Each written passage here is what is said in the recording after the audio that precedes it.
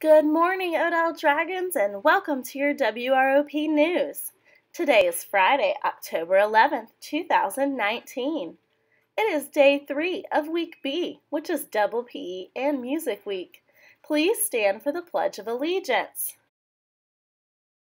I pledge allegiance to the flag of the United States of America and to the republic for which it stands, one nation, under God, indivisible, with liberty and justice for all. Let's check in with a couple more of our second graders for some fun things about kindness and anti bullying. Marcus, what does kindness mean to you?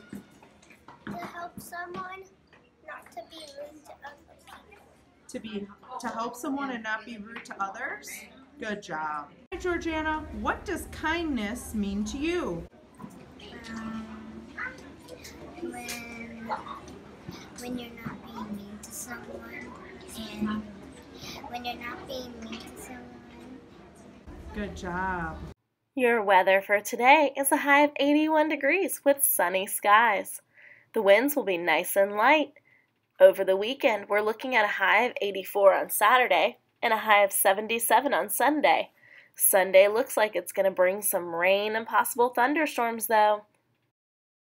Your lunch menu for today is cheese and pepperoni pizza, baked potato bar, broccoli and cheese, veggie cup, craisins, and fresh fruit. Have a great lunch. And now it's time for Fiery Word Friday. This week's fiery word is elated.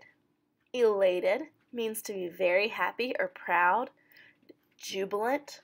So basically, sometimes when you see the word elated, they're talking about someone being really, really happy.